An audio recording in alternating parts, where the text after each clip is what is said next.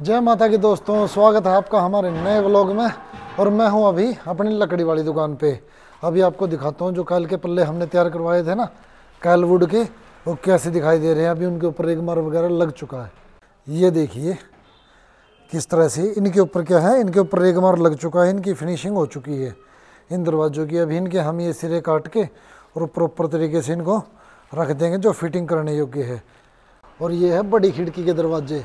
अभी बड़ी खिड़की वालों पर भी अभी रेग मार लगाएँगे।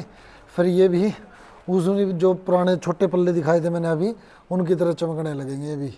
और जब पॉलिश होगी तो और ज़्यादा खेलेंगे फिर ये। ये काम है हमारा, शायद अभी इसमें तीन या चार दिन और लगेंगे, क्योंकि बड़े पल्लों का अभी तक कोई साइज़ नहीं आया, कोई डिज़ाइन फाइनल नहीं हुआ है। तो अभी तीन चार दिन और लगेंगे, हो सकता है उससे ज़्यादा टाइम भी लग जाए। तो उसके होने के बाद ही ये फाइनल होंगे हमारे। और जो सागौन के पल्ले भी हमने कुछ पेंडिंग छोड़ रखे थे क्योंकि वहाँ पर अभी तक फर्श नहीं लगे थे। और मुझे करनी है अभी एक ड्राइंग तैयार। एक ड्राइंग करते हैं। अभी ऑर्डर है ये। शायद सोनीपत का। हाँ सोनीपत का ऑर्डर है। तो अभी एक ड्राइंग तैयार करनी है। अभी वो ड्राइंग तैयार कर लेते हैं। फिर वही प्रोसीजर है हमारा। कस्टमर को भेजेंगे और फाइनल करवाएँगे ताकि कोई कमी ना रह जाए बाद में। नहीं तो सही बताऊँ, अगर बाद में कोई दरवाज़ा ठीक मतलब खिड़की, दरवाजे ठीक करने रह जाते हैं ना तो बहुत समस्या होती है उसमें। और ना तो प्रॉपर तरीके से फिटिंग होती है, उसकी दोबारा खोलने के बाद और जो एक बार नई चीज़ बन जाए ना, वो दी बेस्ट है। इसलिए साइज़ बेशक चार बार चेक करो या पाँच या दस बार चेक करो, कोई समस्या नहीं। लेकिन बनने के बाद नहीं खुलना चाहिए कुछ भी। हमारे यहाँ पर 11 तारीख को नेट बंद हुआ था 11 फरवरी को। और आज 11 12 दिन हो चुके हैं उसको, बंद हुए को। और ऐसा काम हो चुका है, अगर कहीं बाहर जाए ना वाईफाई को छोड़ के तो बिल्कुल भी है, हर बार आदत क्या है कि मोबाइल निकालना, फिर कुछ ना कुछ यूट्यूब के ऊपर चेक करना या और कुछ देखना। तो वो लेकिन अब काम ऐसा हो चुका है, कल मैं गया हुआ था हिसार, जिंदल हॉस्पिटल में। वहाँ पर बार बार मैं मोबाइल निकाल रहे और कुछ ना कुछ चेक करे। चल कुछ रहा ही नहीं उसमें, चलेगा क्या नेट था ही नहीं। और कुछ भी चेक नहीं कर सकते ऑनलाइन पेमेंट में तो इतनी दुर्गति हो गई है कि मान लो कि जैसे अकाउंट में पैसे हैं और ऑनलाइन पेमेंट देनी है किसी को तो आप कुछ नहीं दे सकते, कुछ नहीं कर सकते उसके साथ। मतलब ये नेट जितनी जल्दी चले ना उतना बढ़िया है।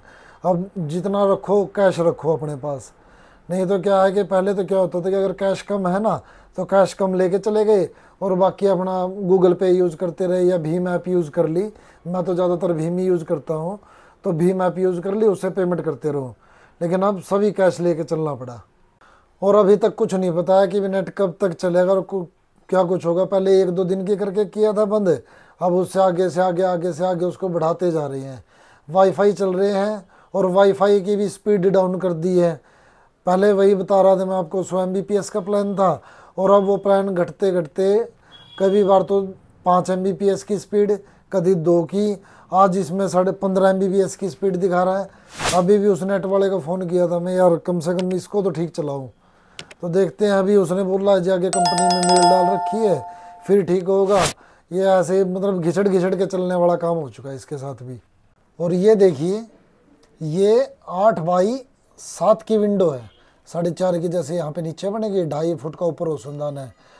अगर जब पहले ये विंडो बनती थी ना, ये वाला भी ओपन होता था, ऊपर वाले भी, ये वाले भी, सभी वेंटिलेटर ओपन इतने दरवाजे लगते थे इनमें, लेकिन आप देख चुकिए ये भी फिक्स ये भी फिक्स ये वाला भी फिक्स है, ये भी फिक्स बनेगा, ये भी फिक्स है। सिर्फ़ ये ओपन बनेगा, ये भी क्यों? कूलर एसी के कारण। और ये ओपन है और सिर्फ़ ये ओपन है। पहले इतनी बड़ी विंडो में सारी खिड़कियाँ लगती थी, खूब लकड़ी के दरवाजे लगते थे।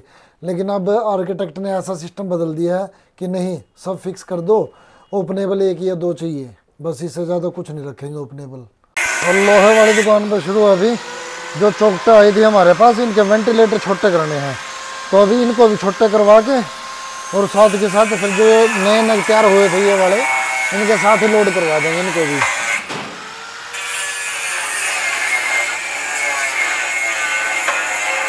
अभी सबसे पहले इनके ग्रिल निकाले जाएँगे। ग्रिल निकाल के और उसके बाद फिर इनके जो ऊपर वाले, बीच वाले मुलीन दिखाई दे रहे हैं, ये वाले, ये कटिंग करेंगे, छोटे करेंगे इनको। और ये साइड वाला भी, और ये वाला तो ऐसे का ऐसा ऊपर लग जाएगा, परली तरफ़ होगी इसमें।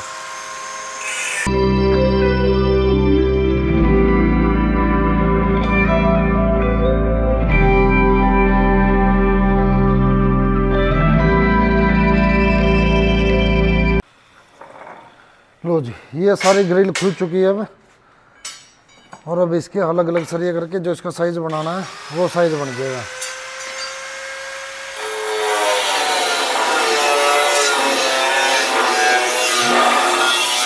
यहाँ से इसको काट लेंगे। ताकि जितने छोटे करने हैं, फिर उतने छोटे करेंगे इसको।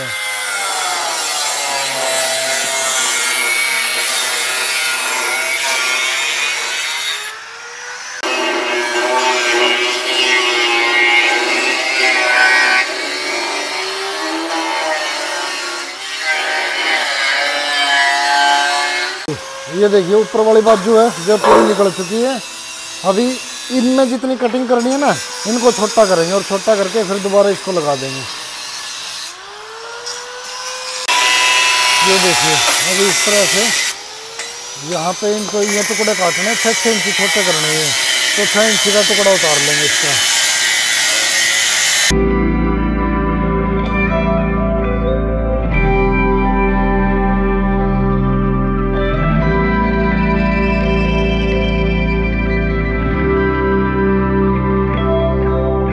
ये सारी कटिंग हो चुकी है अब। इसको वेल्डिंग के साथ थोड़ा सा हटा के मतलब जितना भी हटाना हमें, वो हटाएँगे और फिर ये दोबारा ये जो ऊपर वाला मुलियन है, ये लगा देंगे इसके ऊपर। अब ये अर्थ की सेटिंग नहीं बैठी थी हाँ अब ठीक हो चुका है। और ये देखिए अभी, इसको वेल्डिंग के साथ काटना पड़ेगा थोड़ा सा।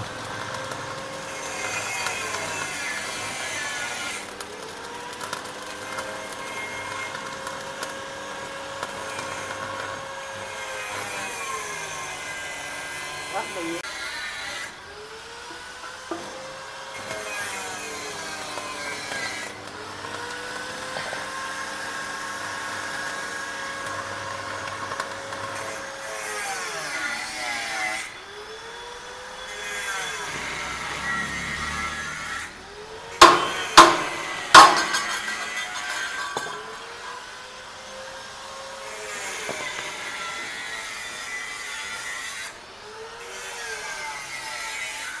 अब इस वाले को भी जहाँ पर ब्लेड नहीं लगा था ना तो वहाँ पे वेल्डिंग के साथ हटाना पड़ेगा ये।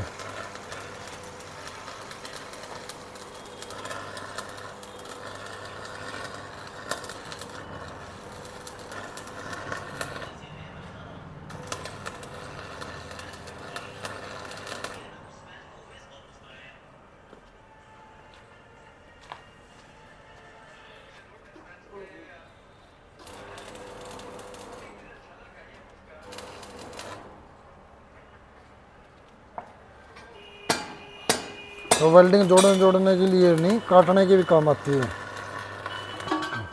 देखिए गया। तो जो कटिंग सारी कंप्लीट हो चुकी है अब। अब ऊपर का मूल्यन और लगाएँगे इसका ये। इस तरह से।